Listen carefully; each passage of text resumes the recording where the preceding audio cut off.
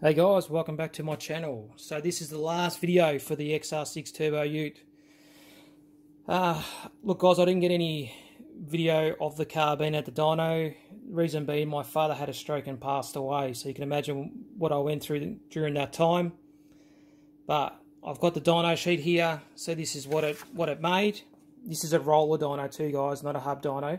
So it made 385 at 16 pound the boost and at 100 kilometers an hour on this dyno sheet, that's 3,000 RPM. So it's coming up on boost really hard.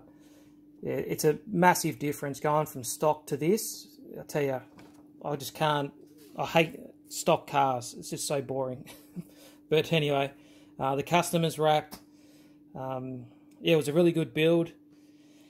Got a lot of got subscribers, which is great. Thumbs up.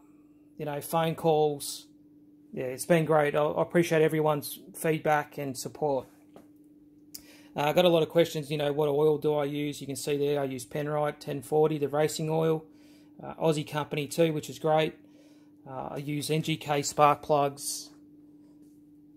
You can see there, part number.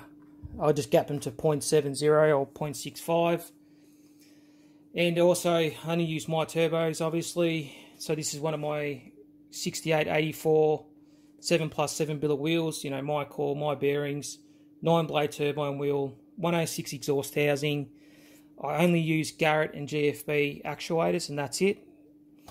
Um, but basically that's it. Oh, sorry. I used the the filter on the car was a K&N as well. Um, but yeah, that's it guys. So for the build, I appreciate everyone, like I say, I appreciate everyone's feedback and support during this time. And the good news is I've got another build coming, a 2006 BF uh, stock standard ZF transmission. So um, I'm looking forward to doing that as well. We'll see how much power we can get out of that one. And um, yeah, we'll take it from there, guys. Anyway, ciao.